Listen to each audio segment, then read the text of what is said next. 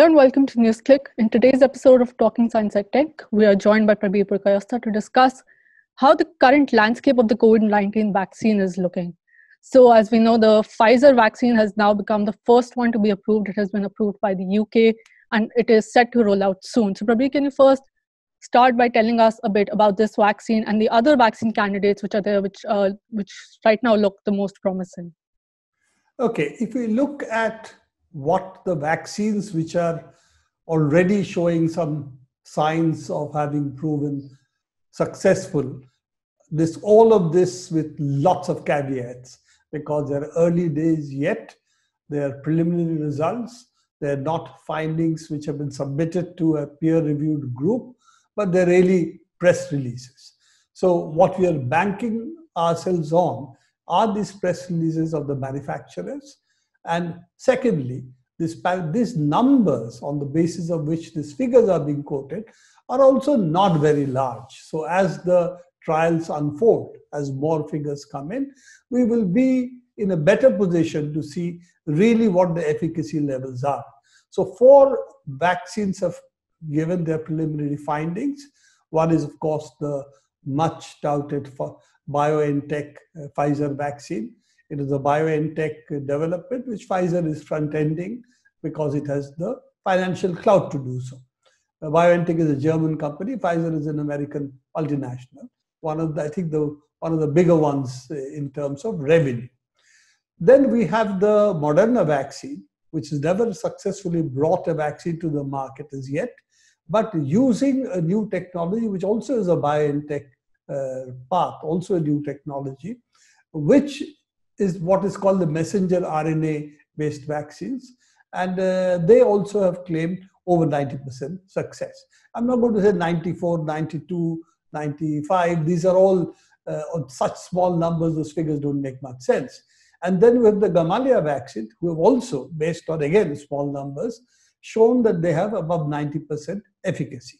Now, efficacy is uh, the issue is that when you have number of people you have put in the uh, vaccine trials, then you look at over a period of time the two arms, one the placebo arm and one is the actually the uh, virus uh, in, arm in which you have uh, given some kind of either inactivated virus, uh, some messenger RNA which produces antibodies, produces actually virus components which then produce the antibodies, all of this, uh, if we take into account, then what you see is that the ratio of the people who get infected later in the placebo arm against the people who are in the vaccine arm, if there is a significant difference, those are the figures we are talking about. And therefore, 95%, 90% really refer to that.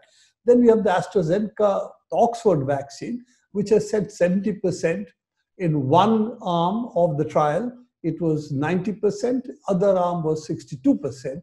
And then they've averaged based on the numbers of people in each of the trials, and they've got a figure of 70%. Now, as we know, the AstraZeneca Oxford vaccine, this was a mistake. The arm which showed 90% actually had the first dose, which was half dose, and that was a mistake. And later on, therefore, they separated it and made it two trials. And interesting, interestingly enough, the one which had the mistake found, was found to be more successful. Again, small numbers. So if we have larger numbers, maybe they'll average it out and we'll see almost similar figures. So we have to wait and watch that. And you have the Gamaleya vaccine as well, as we said, that also has claimed a good success. So we have four vaccines on the table, and two of them have already received emergency uh, usage uh, clearance. One of it by UK, Probably the US and the European Union authorities will also follow. And the Gamaleya vaccines by the Russians, who have also had an emergency usage uh, policy for some time now, and they got that earlier. And then we have the Chinese vaccines also, which are in late uh, trials, again on phase three trials, and the preliminary, preliminary results should be out very soon. They have also permitted emergency usage, particularly for those who are going on peacekeeping operations outside the country. So they are essentially not a part of the double blind trial, but they're a part of also the larger experiment of vaccinating people and seeing whether they get uh, COVID 19 or not. So, this is roughly the scenario. Now, there are a good number of vaccines now on phase three trials. So, it's not these are the only ones. And some of them are in fairly advanced form, like the Chinese, a uh, couple of the Chinese vaccines.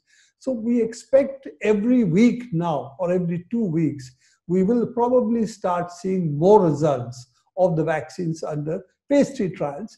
And then there is another lot of uh, 25, 30 vaccines which are in the phase one, phase two trials, which will also then gravitate, uh, graduate into the phase three trials, at least some of them. So we are likely to see about maybe 10, 12 vaccines make the cut. And because there are a large number of countries, because a lot of the countries are not going to depend on external uh, suppliers, so countries like the US, like European Union, like UK, uh, like India, as well as like Russia and China, they are going to produce their own vaccines. This is clear. They're not going to depend on others. Indian case, though we have vaccines which are also uh, under trials, but we also have access because we have very large vaccine manufacturing capacity. So we are also li- licensing uh, Oxford AstraZeneca vaccine, Novavax vaccine, which is not yet in phase three trials in, in the United States, or at least the results are not out. So we have more access to this. And also we have Indian companies who've tied tied up with Russian uh, vaccine manufacturers. If we take the whole scenario, yes, we are likely to see vaccines, but the picture is not that good when we try and see who is going to get access to these vaccines, which countries are well placed to get access or are already blocking the vaccines, and which countries are not. So, what we see a good, good picture scientifically. This is the fastest vaccine development ever. And we've also seen a very large number of com- companies, laboratories who have worked together to develop a number of vaccines. So the science and the technology part of it, the production technology is still uh, on hold in the sense that we'll find out how that is going to go. Uh, that is, is, it seems, has passed the COVID 19 test. Whether we will pass the equity test, the public health test, and the challenge of delivering the vaccine to the people, this is what we have to see now. And as I said, with vaccine nationalism running amok, we really have a scenario which is very much skewed against poorer countries and the global poor. Yes, so as you're saying that uh, countries are basically, uh, we see that uh, of all these leading candidates, most of their doses have been bought up by or they've already been booked by the by a few rich countries which is just for about i think 13% of the world's population and the lower middle lower income countries and middle income countries are being left behind. So then how when do we think uh, when do you think uh, is the vaccine going to reach these the people in these countries? If we look let's look at quickly about how these countries which are grabbing the bulk of the lion's share of the vaccines who are they? So, rich countries with 13% of the world's population, and that's basically the United States, the United Kingdom, the European Union, Japan, Australia, Canada. This is really a handful of countries. And as I said, they represent only 13% of the world's population. Have at the moment, out of the possible total production capacity, which is going to be there in 2021, they probably have more than 50%, probably close to 55 to 60% of the vaccine production, either bought or blocked. So this is the status that is there. So rest 30, 45, 40% is going to be divided up with the 87% of the population. So that is the scale of the mismatch. In this, countries like India and Brazil, which have indigenous vaccine manufacturing capacity are certainly better placed, particularly India, because you're the largest uh, generic vaccine manufacturer in the world. In fact, the largest vaccine manufacturer in the world in Serum Institute, Pune. So India is, in that sense, luckier than others. And also, we have uh, Cadila's, uh, Cadila, Zydus Cadila, we have Reddy's Laboratory, we have Bharat Biotech, we have also other biologic manufacturers who can manufacture vaccines as well. So there are a number of contracts being reached among the vaccine developers and the vaccine manufacturers who have facilities in India. So this makes India better placed. So it is true that India probably has some ability to leverage a large amount of vaccines for itself, not on the scale which the rich countries have. Canada, I think, has five times the number uh, of vaccines it requires for vaccinating its people. So while we don't have that amount of extra vaccines, but probably we'll be able to vaccinate a large number of the population. We have to see what the total numbers are. There are figures hanging around like 1.6 billion have been blocked by India. We don't know the veracity of these figures, but it is true that Serum Institute, which is planning to manufacture 2 billion vaccine doses, 1 billion of AstraZeneca, uh, Oxford vaccine, and other is Novavax of the United States, that uh, at least a part of that, maybe 50% of that, may be reserved for India. So that's the Indian advantage. But as I said, we have other manufacturers too. And Gamaleya has also reached some agreement with manufacturers to have 300 million vaccines produced in India. How much for India, we don't know. And Reddy's Laboratory is importing 100 million from them. So these are all the figures that India has. But when it comes to the, the poorest, the poorer countries, those who have been economically poorer countries, they seem to be completely left out in the cold. Their only hope is what is called the COVAX platform, which has been set up by various vaccine alliances, in which uh, WHO is also participating. There are about 100 odd countries who are participating. What is not happening is the money they require. If you want to supply the vaccine to the poorer countries, and COVAX facility, that's the one we are talking about, is only supplying 20% of the population uh, population's vaccines in the uh, what would be called the LDCs, least developed countries. And also, if other countries want to participate, they will also get vaccines, but at cost. So, this amount that they require for vaccinating the poorer countries or the least developed economies, that is um, to just to do 20% of that, the amount they require is 2 billion. What they've got is only 800 billion till date. So they are really in no position to eh, provide vaccines, therefore, to bulk of the least developed countries. Now, the least developed countries are also having agreements, for instance, with Chinese manufacturers and with Russian manufacturers, that in lieu of running vaccine trials in their countries, that they should get access to the vaccines, particularly for the Chinese, because having crushed the virus in their country, they don't have patients now for clinical trials. They need to go outside and do the clinical trials. They're doing some in Bangladesh, some in Brazil, in spite of the opposition of President Bolsonaro there. Then they're doing it in West Asia. So they have they're doing a large number of drug trials abroad. And in lieu of that, they have promised them vaccine supplies. China has also agreed to participate in the COVAX facility of WHO, Gavi, CEPI, the Vaccine Alliance. What they will do, will it be through supplies, will it be through money? We don't know. So at the moment, the chances of anything beyond a small section of the people in the global uh, south, the poorest countries, the least economically developed countries, that is unlikely.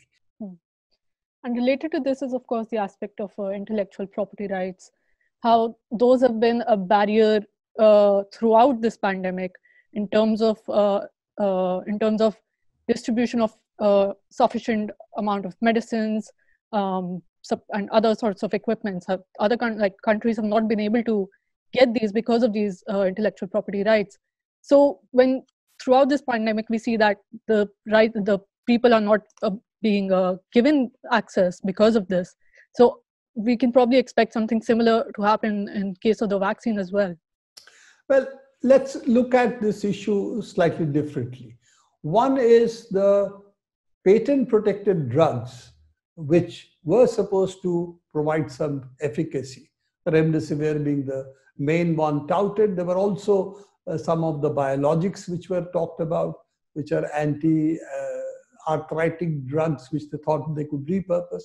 All of them really failed, or the interferon, for instance, all of them really failed. They did not show significant efficacy, not at least in the most serious cases, or those who are under oxygen support. It only, it seems it only helps during the early phases. And at that time, people do not get access to this kind of drugs very easily. So what happened, therefore, is the only drugs which really worked was the dexamethasone, corticosteroids, and that's being provided, uh, and because it's a very cheap drug. So that's been provided, and unfortunately, that has not reached uh, the issue of patents or any of this kind of uh, problems that we are talking about. What has happened is the patent works, for instance, even now, and even, even if it is not patents, it's basically other forms of intellectual property, which could be uh, what are called trade secrets. There could be designs. There's a whole bunch of intellectual property protection, which is not patent protection.